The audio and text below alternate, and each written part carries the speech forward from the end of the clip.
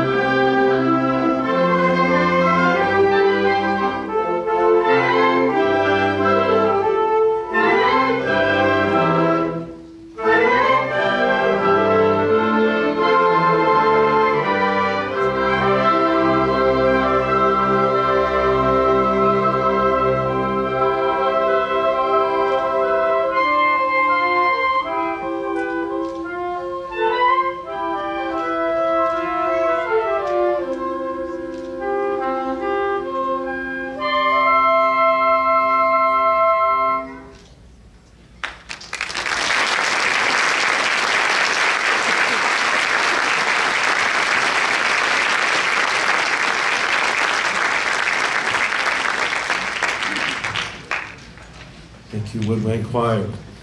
Uh, as the final large choir gets set, the brass choir gets set, we are going to give away some cash. That's always a good thing to do around Christmas time.